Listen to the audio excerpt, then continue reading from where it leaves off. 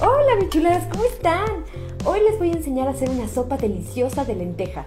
Porque quiero que sepan que estas maravillosas semillas contienen magnesio, potasio, calcio y también aportan ácido fólico. Es una chulada. También te quiero platicar que si lo consumes en las primeras horas del siguiente año o el primer día, te van a traer abundancia. Eso se dice. También mi familia acostumbra que en la cena de Año Nuevo colocarle algunas en el vino blanco o en el vino tinto para brindar en el año nuevo. Y bueno, te voy a enseñar a hacer esta delicia. Necesitas una taza de lentejas, dos jitomates, dos cebollas pequeñas, un diente de ajo, un manojo pequeño de cilantro, un poquitito de aceite comestible, una cucharadita de consomé en polvo y 150 gramos de tocino. Lo primero que tenemos que hacer es colocar una taza de lentejas con 3 litros de agua en una olla express y ponerla a cocer durante 30 minutos. Mientras, en otra ollita vamos a poner a dorar el tocino cortado en trozos pequeñitos. Lo vamos a dejar ahí que dore por unos minutos hasta que suelte tantito aceite y cambie de color. Y mientras, en una licuadora o procesador, vamos a mezclar los jitomates en trozos, la cebolla, el diente de ajo, la cucharada de consomé en polvo y le vamos a poner un poquitito de agua, media taza. Lo licuamos rápidamente, súper, súper bien. Lo molemos súper bien y ahora sí esta mezcla la colocamos en la olla junto con el tocino para sazonar. Mi chulas, esto empieza a oler delicioso. Lo dejamos así por unos minutitos y mientras la mitad de taza que pusimos en la olla express la vamos a procesar o licuar por muy muy poquitito tiempo. Solamente vamos a abrir la semilla para hacerla más puré. Esto le dará una consistencia espesa a tu sopa.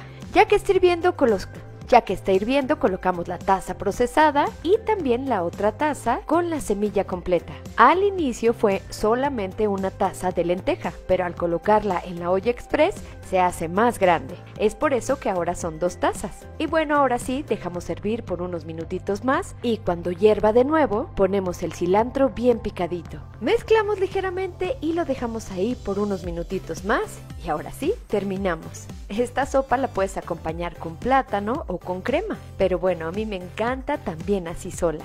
Mmm, mis chuladas, esto huele delicioso, la tienen que probar. Es muy rápida y fácil de hacer. Mis chuladas, para más recetas con leguminosas, visita esta página. Ahí vas a encontrar muchas formas deliciosas de preparar leguminosas. ¿Qué tal? ¿A poco no está sumamente rápida? Bueno, pues quiero que sepan que además es una delicia. A mí me gusta mucho acompañarla con plátano, pero hay personas que no les gusta mezclar lo dulce con salado. Sin embargo, no lo dejes de probar porque sabe deliciosa. Vamos a probarla. Mmm. Me encanta, está súper, súper deliciosa. Mmm. Lo tienen que hacer. Bueno, no nada más el primer día del año, ¿eh, mis chuladas? Traten de consumir leguminosas muy seguido porque aportan muchísimos nutrientes. Es más, tiene proteína, sí, proteína vegetal. Así es que consume leguminosas, esta es una gran idea. Bueno, mis chuladas, ahora sí, ya me voy. Espero que les haya encantado esta receta como a mí. No dejes de probarla. Mis chuladas, feliz año y que pasen unas felices fiestas en familia y de forma segura. Ahora sí, ya me voy. Bye bye.